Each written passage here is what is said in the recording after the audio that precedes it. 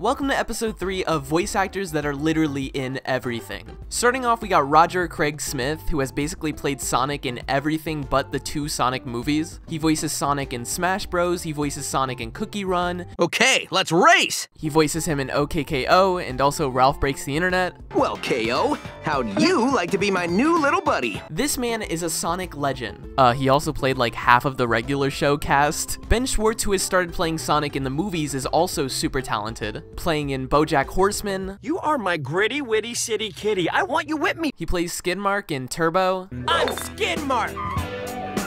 Oh yeah. He also plays Dewey Duck in the recent DuckTales show. So, I'm pretty much the best in the country. Next, we got Grey DeLisle, who has such an iconic lineup of characters, playing Daphne in Scooby-Doo. I'm in love with Fred. She plays Vicky in Fairly Odd Parents. Go to bed, you twerps. She plays Mandy